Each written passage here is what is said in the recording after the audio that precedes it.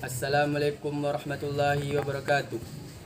Alhamdulillahirabbil Nahmaduhu wa nasta'inu wa nastaghfiruh wa na'udzu billahi min shururi anfusina wa min sayyiati a'malina. May yahdihillahu fala mudhillalah wa may yudlil fala hadiyalah. Asyhadu an la ilaha illallah wa asyhadu anna Muhammadan abduhu wa rasuluh la nabiyya ba'da amma ba'd. Sebagai hamba Allah yang beriman kepadanya, Marilah kita memanjatkan puji syukur kita kepada Allah Subhanahu Wa Taala yang telah memberikan kita kekuatan, kesehatan lahir dan batin. Dan tidak lupa pula kita panjatkan kepada junjungan alam yakni Nabi besar kita Muhammad sallallahu alaihi wasallam dengan mengucapkan Allahumma salli ala sayyidina Muhammad ala ali sayyidina Muhammad. Semoga kita mendapatkan syafaatnya di akhirat kelak. Saudara-saudara yang saya hormati, pada kesempatan kali ini saya akan menyampaikan pidato tentang pentingnya menerapkan nilai-nilai Pancasila dalam kehidupan sehari-hari. Tentunya kita tidak asing lagi dengan kata-kata Pancasila sejak kita duduk di taman kanak-kanak.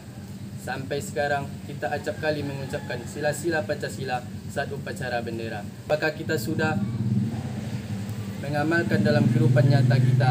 Jawabannya ada pada diri kita masing-masing. Pancasila adalah nilai-nilai luhur bangsa Indonesia mencakup seluruh kebutuhan dan hak-hak dasar manusia universal sehingga dapat dijadikan alasan hidup bangsa Indonesia yang majemuk ini. Sangat disayangkan jika saat ini pengalaman masih banyak hambatan. Saudara-saudara yang saya hormati, marilah kita renungkan bersama di manakah nilai ketuhanan yang Maha Esa jika toleransi antar umat beragama seakan tidak ada. Di manakah nilai kemanusiaan yang adil dan beradab jika saling bermusuhan? Di manakah nilai persatuan Indonesia jika nasionalisme terkoyak-koyak? Di manakah nilai sila yang keempat jika masih mementingkan kepentingan pribadi?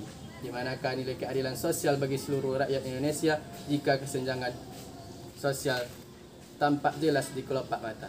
Cobalah saudara-saudara resapi betapa rapuhnya bangsa kita tercinta ini. Marilah kita terapkan nilai-nilai luhur Pancasila mulai detik ini dan seterusnya. Demikianlah pidato saya tentang pentingnya menerapkan nilai-nilai Pancasila dalam kehidupan sehari-hari. Wabillahi taufik wal hidayah. Wassalamualaikum warahmatullahi wabarakatuh.